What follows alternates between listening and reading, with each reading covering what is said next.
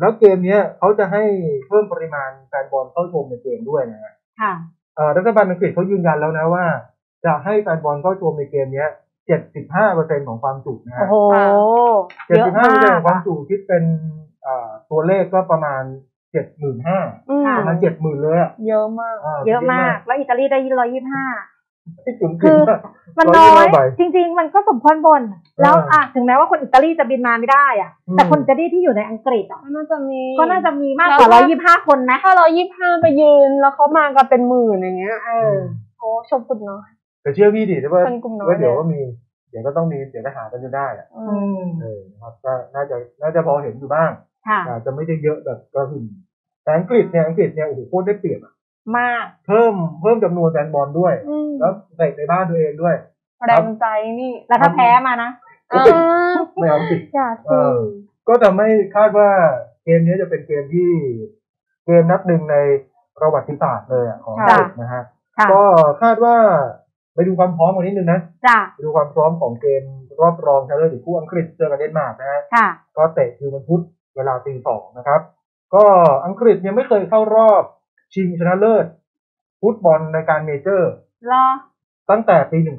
1966ค่ะอันนั้นเป็นเหรอเอ่อครั้งสุดท้ายที่พวกเขาได้เข้ารอบชิงฟุตบอลโลกนะฮะอืมปี 1966 แล้วก็คว้าแชมป์ได้ด้วยนะครับ แต่ว่าครั้งนี้เนี่ยสถิติสุดยอดก็คืออังกฤษเล่นมา 5 เกมยังไม่เสียแม้แต่ประตูเดียวนะอืฮะมยิงไป8ประตูนะครับค่ะแล้วก็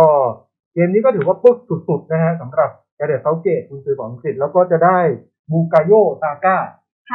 ปีกจากอาร์เซนอลกลับมาสู่ทีมด้วยนะฮะ ซึ่งสื่อเขาก็คาดว่าอาจจะเป็นตัวจริงเลยนะฮะอืมแทนที่ของเจดอนซานโชนะครับที่ค่ะอาจจะต้องกลับไปนั่งเป็นตัวสำรองนะครับเขาให้ผลว่าอ่าบูกาโยซาก้าเนี่ยเล่นเกมรับดีกว่าอืมค่ะดีกว่าซานโชนะฮะค่ะแต่ตัวอื่นโกล์ก็ยังเป็นจอร์แดนพิกฟอร์ดนะฮะกองหลังก็แฮร์รี่แม็กไกวร์จอห์นสโตนส์เป็นเซนเตอร์ แล้วก็แบ็คขวาซ้ายก็เป็นไคล์วอล์กเกอร์กับลุคชอว์นะฮะค่ะเล่นหลังสี่นะกลับมาเล่นหลังสี่นะครับกองกลางก็คาลวินฟิลลิปส์ดีแคลนไรซ์นะครับ ตัวรุกก็อ่านี่แหละบูกาโยซาก้าราฮีมค่ะสเตอร์ลิงแล้วก็แฮร์รี่เคนอืมจ้ะสองคนหลังนี่ยิงไปเคนทีมละเออคนละสามประตูแล้วด้วยอืมเออไปดูทีมเดนมาร์กกันหน่อยนะฮะค่ะกุนซือก็คือแคสเปอร์เอ่อฮูลมันด์แคค่ะสเปอร์ฮูลมันด์ก็ไม่เปลี่ยนทีมเลยในรอบน็อกเอาท์ของรอบนี้นะอืมเกมนี้ก็เชื่อว่าน่าจะไม่เปลี่ยนเหมือนเดิมนะครับค่ะโกล์ก็แคสเปอร์ชไมเคิลนะฮะ กองหลังใช้เขาใช้กันระบบกองหลังเป็นนะฮะสามตัวนะครับอืมก็มีซีมอนเคียร์ยานนิกเวสเตอร์การ์ดแล้วก็อันเดรสคริสเตนเซนนะครับค่ะกองกลางก็โทมัสเดลานี่ปิค่ะแอร์เอมิลฮอยเบิร์กนะครับค่ะแล้วก็เอ่อมีโจคิมเมห์เล่กับเยนส์สตรีเกอร์ลาร์เซนเป็นค่ะแบ็คสองข้างนะครับ แล้วก็ตัวรุกก็มาร์ตินเบรธเวทมิคเคลดัมส์การ์ดแล้วก็แคสเปอร์ดอลเบิร์กนะครับค่ะอะเรื่องเรื่องแฟนบอลก็อย่างที่บอกนะฮะว่าจะให้เข้าชมประมาณ 75เปอร์เซ็นต์นะครับ 75เปอร์เซ็นต์ก็ประมาณ6 7หมื่นเลยนะครับอืมแล้วก็ในรอบชิงเนี่ยอาจจะเยอะกว่านี้ด้วยนะค่ะเอ่อถ้าถ้าไม่ว่าทีมไหนเข้าชิงเนี่ยรัฐบาลในอังกฤษเขาจะเปิดโอกาสให้แฟนบอลเยอะขึ้นเข้าสนามเดินที่เยอะขึ้นนะฮะแต่ก็กักตัวสิบวันนะครับผมอืมสถิติอังกฤษกับเอ่อเดนมาร์กเนี่ยอังกฤษเหนือกว่าบานเลยนะฮะค่ะไอ้คู่อิตาลีกับสเปนนี่ใกล้เคียงนะค่ะแต่ว่าคู่อังกฤษกับเดนมาร์กนี่ห่างกันเจอกัน23ครั้ง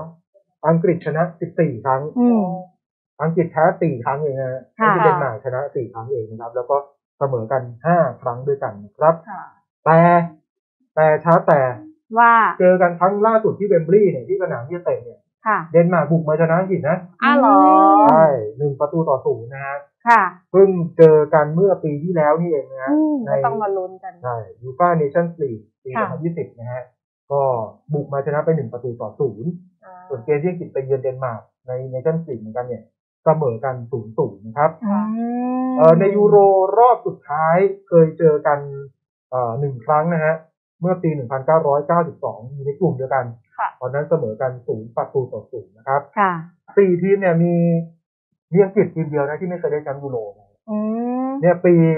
ปี 1992 เดนมาร์กได้แชมป์นะอ้าวเหรอเทพนิยายเดนส์นะฮะเทพนิยายเดนส์ภาคแรกอืมตอนนั้นเนี่ยเดนมาร์กน่าจะพอทราบอยู่แล้วตกรอบไปแล้วนะ คือเขาตกรอบคัดเลือกไปแล้วนะฮะอืมแต่ว่ายูโกสลาเวียเขามีปัญหาเรื่องการเมืองอ๋อก็เลยทำให้โดนยูฟ่าแบนอะแล้วก็เลยไปเรียกทำให้เดนมาร์กเข้ามาเงี้ยเหรอไปเรียกเดนมาร์กซึ่งนักเตะไปพักผ่อนไปพักร้อนกันหมดแล้วนะนักเตะบอกกลับบ้านเออไปเรียกกลับมา คิดว่าจะได้เที่ยวเออจะได้นอนแล้วเออตอนแรกก็เตะไปงั้นๆนะคุณจะเตะรอบแรกสามเกมตกรอบมันไม่ได้ซ้อมเลยเลยเล่นไปเล่นมาเป็นแชมป์อยู่เลย เออจริงเขาก็เลยเลยเรียกว่ามันเป็นเทพนิยายเอ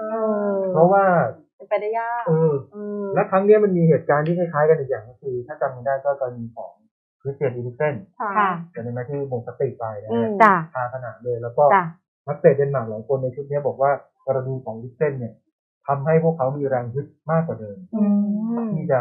ที่จะทำเพื่ออีริกเซนค่ะค่ะแล้วก็จะสร้างนิยายบทที่สองให้ได้อืมครับอะเรามาลุ้นกันค่ะเป็ตินดวันตามกันได้พุธปีสองนะครับค่ะ